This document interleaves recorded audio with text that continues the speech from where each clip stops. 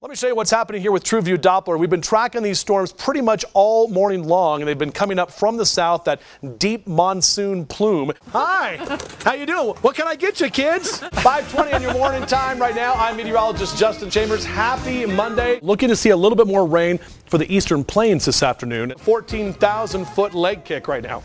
Bam! In other news, Wyoming's governor is raising concerns over Colorado's legalization of recreational marijuana. It's a new way to go green and save green using water-based paint that's better for the environment. 707 your time right now. The community already stepping up to help out those in need. The reason why we will see some thunderstorms here under this ridge of high pressure over the Four Corners region, it's that clockwise flow pulling up a little bit of that monsoonal moisture. This is coming off from these lovely ladies right here. Hello.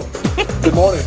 I'm Ron Burgundy. I'm meteorologist Justin Chambers on March 15th, and you're not Kimberly Price. Now I want to show you TrueView Doppler here. There's Fountain, there's Pueblo. You're dry in Pueblo. I'm meteorologist Justin Chambers. Later today, we get to say the words, police are looking for a banana and a lobster.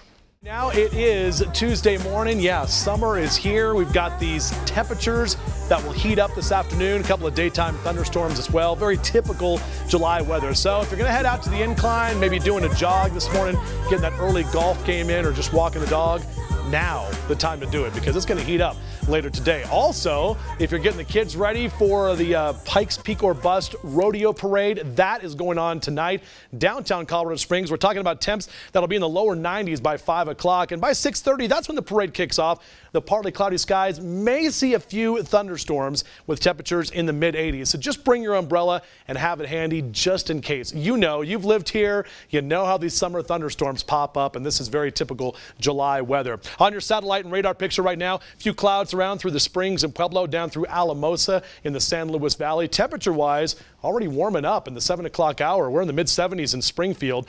Lower 70s in Pueblo, 69 in the Springs, and temperatures just west of I-25 in the 50s this morning. We're going to be in the mid to upper 90s as you get north of the Palmer Divide right around Denver, 97 today.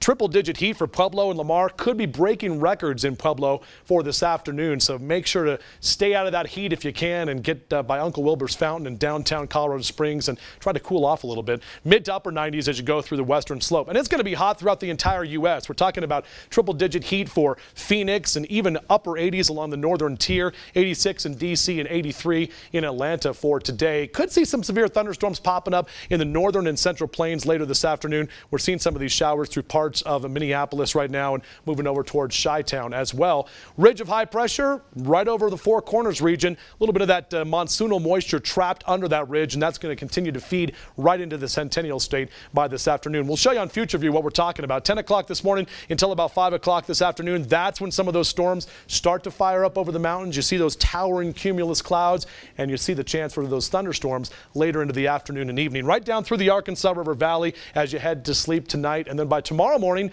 we start our day mostly clear. Tomorrow afternoon, a little bit cooler.